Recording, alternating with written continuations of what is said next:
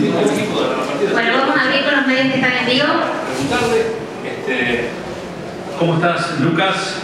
Eh, me, me, acordé mucho de lo que dijiste acá cuando empataron Huracán. Que iba a ser titánico esto de tratar de mantenerse en la primera división. Y en esto de ser titánico jugar un gran partido frente a, por ejemplo, eh, Independiente. Eh, mi pregunta es la siguiente. ¿Por qué cambió tanto el equipo a partir de la salida de Parnizari? Era solamente un jugador para que te dominara tanto Atlético Tucumán. O sea, te pregunto si compartís lo que digo y si compartís lo que digo te pregunto por qué. Eh, sí, quedarnos con un hombre menos condicionó el desarrollo del partido.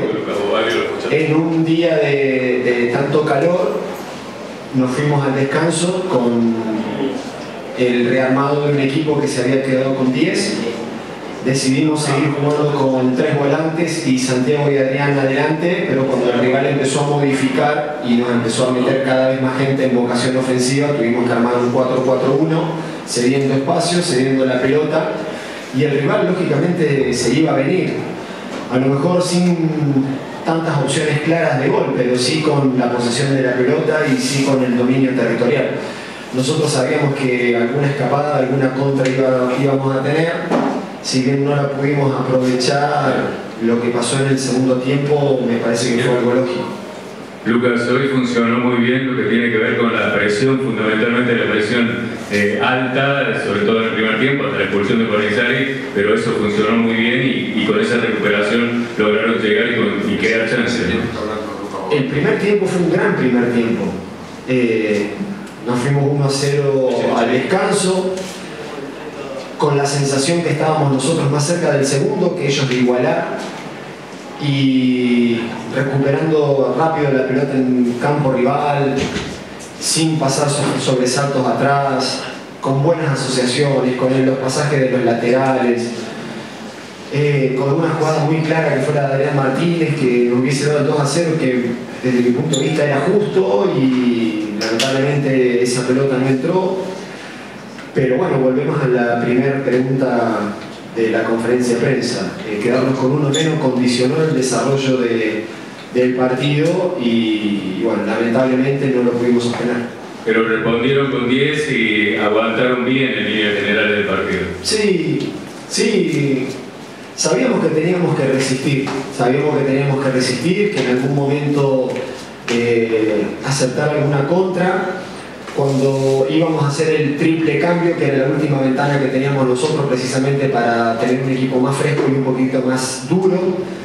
En ese instante nos hacen el gol del empate y fue una picardía porque yo creo que si lográbamos meter esos tres cambios antes, el equipo iba a estar mucho más compacto y no nos iba a garantizar eh, la victoria, pero siento que nos iba a acercar a, a sumar de a tres. Pero bueno, lamentablemente fue justo el momento donde el rival consigue el empate. Lucas, Acá, de acá. Dos preguntas. Primero, eh, ¿cómo viste la jugada de la expulsión? Y la segunda pregunta es, esa caminata cansina pero firme rumbo al árbitro, ¿qué charlaste con él? Porque fueron largos minutos de charla con el árbitro del partido. Eh, la jugada de la expulsión me parece que el full es un full muy chiquitito, que Ezequiel cuando la pelota está en el aire se queda parado, no levanta el brazo, no hace ningún movimiento especial. Era imposible evitar el impacto porque el jugador de Atlético Tucumán iba corriendo hacia adelante y, el impacto iba a existir, pero todo lo que hizo fue Ezequiel fue quedarse parado. Eh, yo tengo hasta dudas si fue falta. Pero no solamente cobró la infracción, sino que, que, que nos dejó con un jugador menos. Y después, eh, sí, hablé, hablé con el árbitro cuando terminó el primer tiempo y cuando terminó el partido. Y lo que nos dijimos, que no es eh, nada grave, me lo prefiero reservar, pero me deja muy tranquilo. no, no, me, me deja muy tranquilo porque... ¿Se reconoció el error? Lucas, acá yo te quería preguntar, siempre cuando haces eh, cambios que son prácticamente obligados, cambia el partido, porque no tenías en cuenta estos cambios. Eh, ¿Te vas un poco preocupado sabiendo que viene Boca, viene Talleres aquí en la Córdoba? Eh, no me deja preocupado los cambios, sí me deja las secuelas que dejó este partido.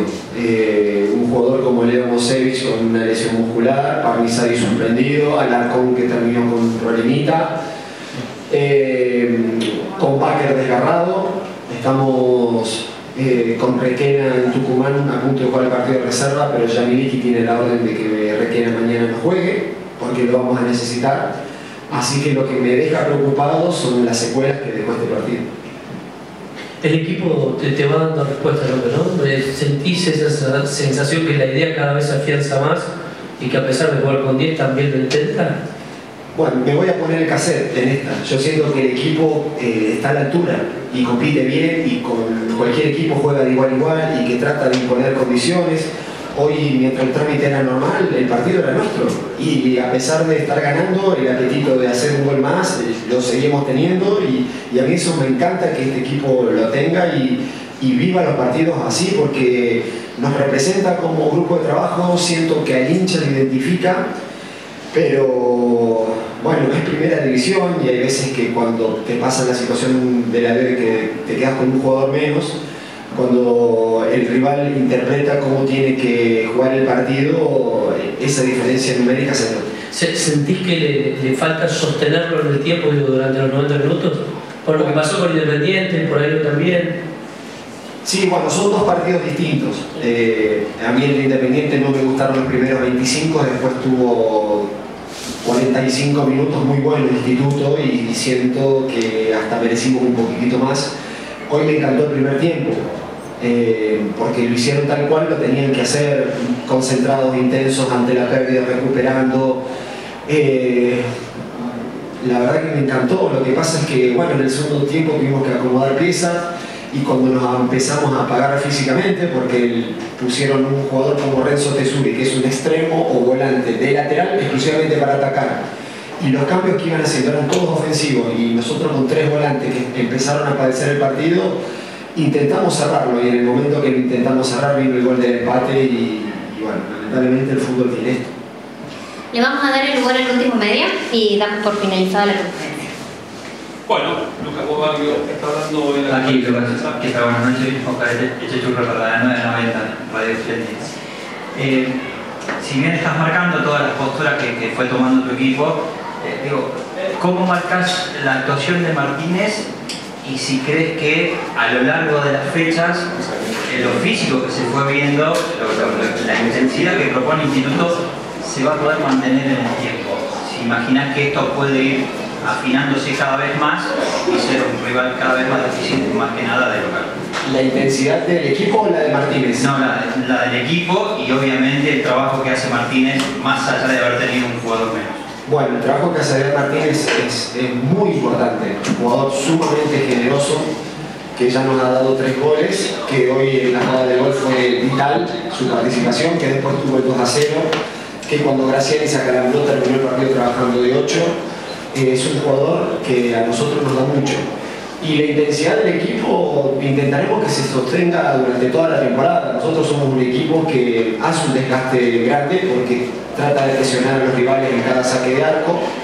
Hay un porcentaje importante de equipos en primera división que ceden, por lo menos ese aspecto del juego lo ceden, y ahí ya no tienen el desgaste que nosotros estamos haciendo.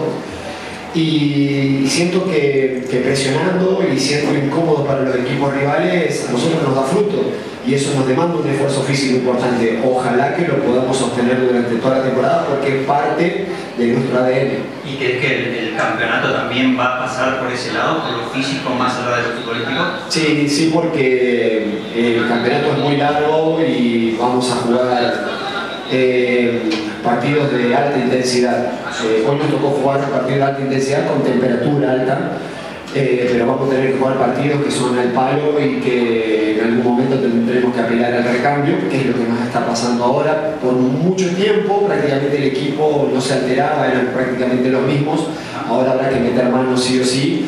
Y bueno, en algún momento el recambio nos tiene que dar las soluciones que hasta ahora nos vino dando, pero que de repente en esta oportunidad van a aparecer prácticamente de forma obligada. La última de mi parte, eh, esta intensidad que propuso, el calor también, ¿Le cuesta a un equipo recuperarse y lleva más de lo, de lo debido?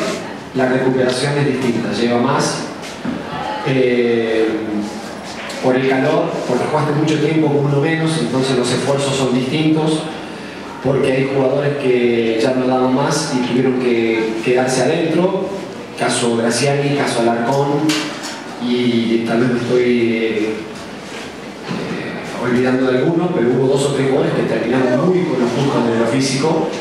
Pero bueno, este equipo juega de esa forma, es muy generoso y, y a la hora de entregarse, sinceramente, es un equipo sumamente generoso porque se brinda por completo. Bueno, muchísimas gracias a todos. Buenas noches. La.